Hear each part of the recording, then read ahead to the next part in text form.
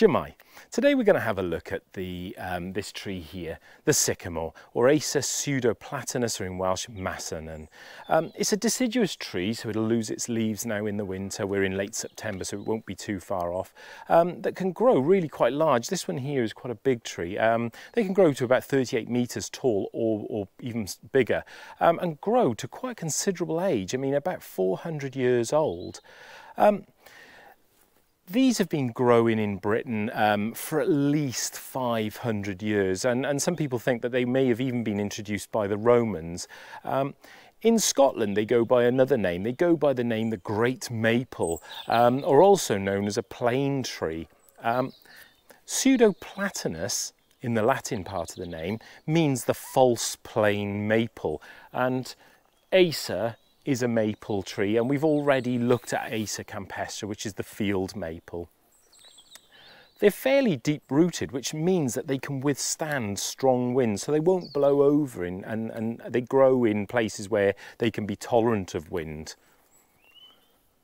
The name sycamore derives from confusion with the Middle Eastern fig. And the Middle Eastern fig, the Latin is Ficus sycamorus.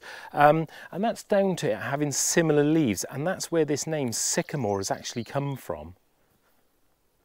Sycamores can grow almost anywhere. They produce an abundance of seeds, which we'll have a look at, um, that are wind um, distributed so they, they will cover a large ground and they will propagate and um, they'll grow pretty much anywhere. I mean you'll even see them growing in people's guttering where they've blown and, and sort of spun into um, and it's for that reason they're actually considered to be a bit of a weed but as you'll see they're actually not a weed they've got lots and lots of uses.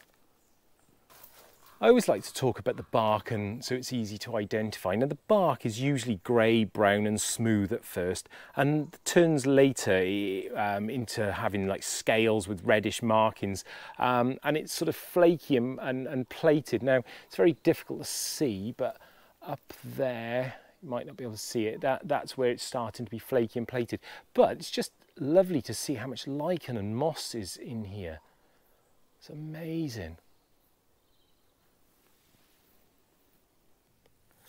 The leaves can be very, very variable in size.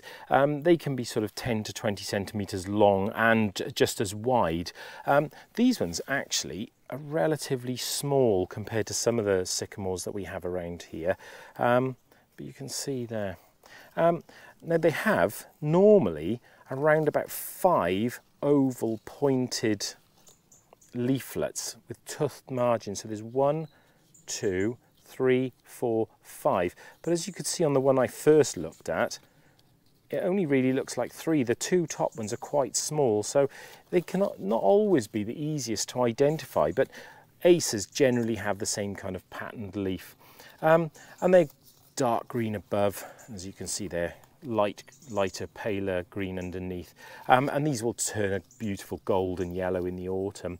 Um, quite often it will have as you can see on this one here, something called a tar spot. Now, you can just see it by there. Um, and this is a type of fungus that causes blotches. And also, I don't think there's any I can find at the moment, they can have like little red spots, little red galls on the leaf as well. Sycamores flower in around about May time and the, the flowers can be around about 5 to 15 centimetres long and that's not a single flower. They, it's usually like a stalk covered in lots and lots of tiny little flowers that droop downwards. Um, the flowers are like a light greenish yellow colour and interestingly this sycamore that we're, we're looking at here in the spring when it's in flower, the, the sound of buzzing from it is absolutely amazing. There's so many pollinating insects that will come to this tree.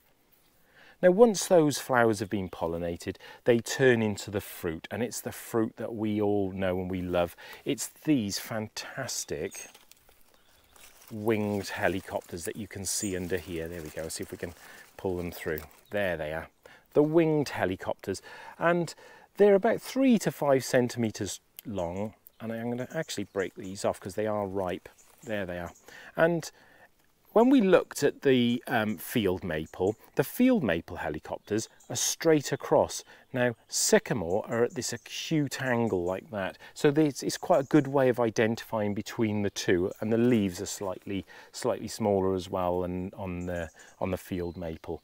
Um, these Interestingly, these little helicopters, although we all know them as helicopters, uh, their actual name is Samaras. And they come now and they're, they're ripe now, September, October sort of time. So this tree will be shedding these and they'll be blowing all over the place and falling like helicopters.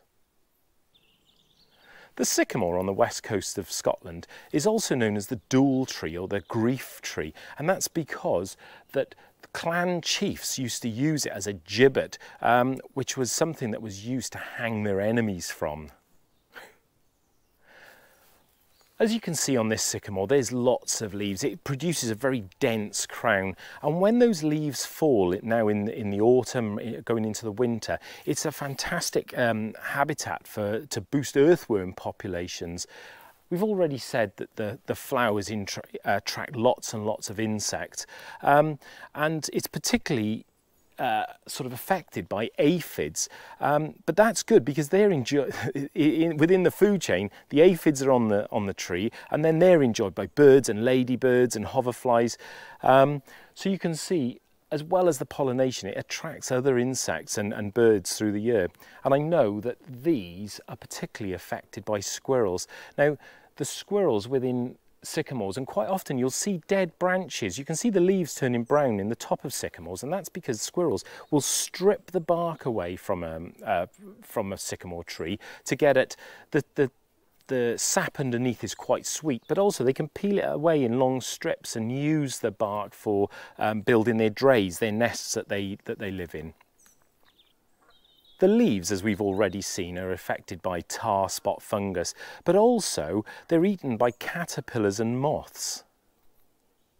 The helicopter samaras, the, the seeds that come off the tree, um, are also eaten by birds and small mammals. And quite often we can watch the squirrels up in these trees um, clambering out onto the very tips of these branches to, to eat the helicopters, to eat the seeds. Sycamore has quite a few uses. The wood is, is a pale white and it makes an excellent firewood, but it also makes an excellent wood for carving and was often used in Wales, um, where we are now, for, for um, carving love spoons. Um, it's also um, used in kitchen utensils because it doesn't taint the food um, and it's been used for things like spoons and bowls and platters and rolling pins. Um, I also read once that it has like a natural um, antibacterial quality for it so it's good for things like the, the, the kitchen utensils and chopping boards and things. Sycamore wood can also be peeled very, very thin and turned into veneers. So it'll be used to coat not so nice woods or, um, you know, man-made woods with this lovely veneer to make, um, to make it look nice. Sycamores are often planted in parks and in streets because it's a, a, very tolerant tree of pollution. So quite often when you're out and about in streets and parks and cities, you will see sycamore similar to some of the other trees that we've looked at that are, haven't been in our country for that long. Um, being an introduced species, there's not a huge amount of lore and history behind it, but this idea that it was used for utensils, it was also used for butter pats and things to do with milk and dairy products. And it's for that reason that sycamore was believed to keep fairies away and prevented um, milk from spoiling and going sour. So there we go, the sycamore. Um, it's not a weed. It's a fantastic tree that has become colonised throughout, um, throughout Britain. You'll see it all over the place. Yeah, it grows really well, it self-seeds and it, it, it will grow pretty much anywhere, but it has so many uses and it's such a beautiful tree to see out in the countryside. Like we've already pointed out, loads of insects, birds, mammals enjoy it as a habitat, so it's got to be a good thing. Um, Keep an eye on not confusing it with some of the others that we've looked at, like the field maple. Hopefully we, we can see the difference between it. Remember the helicopters, the field maple are straight, these ones are angled down. Um, and just go and find some, pick those helicopters, now those Samaras this time of year, and spin them around. It's great fun. So go out, see if you can find it. Good luck.